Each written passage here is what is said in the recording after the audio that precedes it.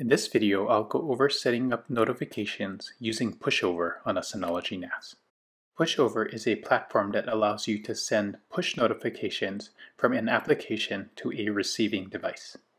In the case of this video, I'll set up Pushover to send notifications generated by my Synology NAS to my iPhone that has the Pushover app installed and configured.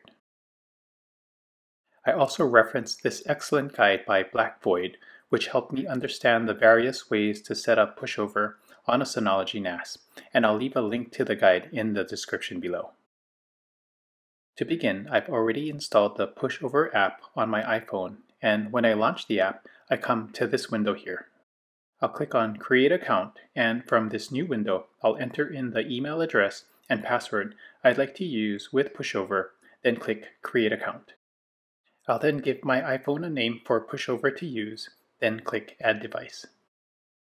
At this point, my iPhone is ready to receive notifications and I'm all set for the 30-day trial that Pushover provides. Note that after the 30-day free trial, if you would like to continue to use Pushover, you would need to make a $5 one-time purchase for each platform you would like to use Pushover on. So in my case, if I would like to use Pushover only on my iPhone, I'd purchase the $5 iOS license. Other platforms you can purchase licenses for are Android and for desktop. Now with my pushover account created, I'll bring up the pushover email address that was sent to my inbox and click on the verify your email address link, which launches this web page here in my browser. I'll go ahead and log in to bring up my pushover dashboard that provides details about my account. Next, I'll get started setting up pushover notifications and the first way I'll set things up is by using the email address provided by Pushover. I'll copy the email address that is assigned to my account, then switch over to DSM. I'll then bring up Control Panel, then Notification. Here, I'll enable email notifications and paste in the email address that I copied to my clipboard earlier. Next, I'll set up Gmail as the service provider I'd like to use by signing into my Gmail account. Once everything is set up, I'll click on the Send a Test Email button, which generates a pushover notification on my iPhone that I have displayed here on screen. The second way I'll go over setting up notifications is by setting up Pushover as a SMS provider using the Pushover API. I'll first disable email notifications, then switch over to the SMS tab and enable SMS notifications. I'll then click on the Add SMS Service Provider button, which brings up this Add SMS Service Provider window. I'll then enter in a provider name I'd like to use, then switch over to the Pushover website, click on this API link, and copy this URL here. I'll switch back to DSM and paste the link into the SMS URL box that is provided.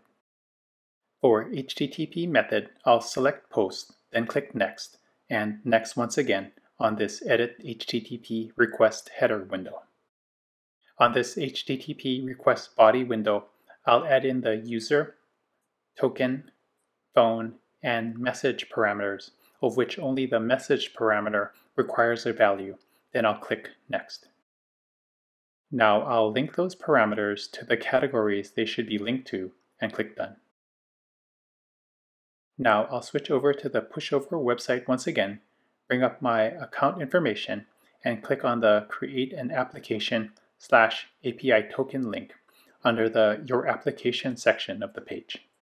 This brings up this Create New Application slash token page where I'll enter in a name, check the box that I agree to the terms of service, and click Create Application. Next, from this Applications page, I'll copy the API token. I'll then switch back to DSM and paste the API token into the password and confirm password boxes. Next, I'll switch back to the pushover website to copy my user key, which is found on the main account information page. Then, back in DSM, I'll paste the user key into the username box.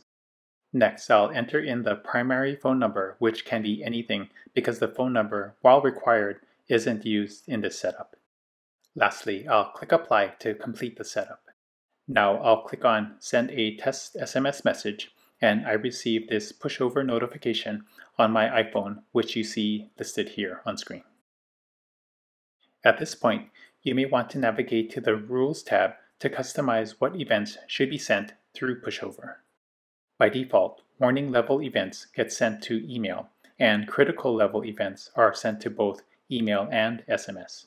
So, for example, you may want to set up your normal email address to receive the warning events and have pushover set up through SMS to alert you of critical events so you know that pushover notifications you receive should be handled with more urgency.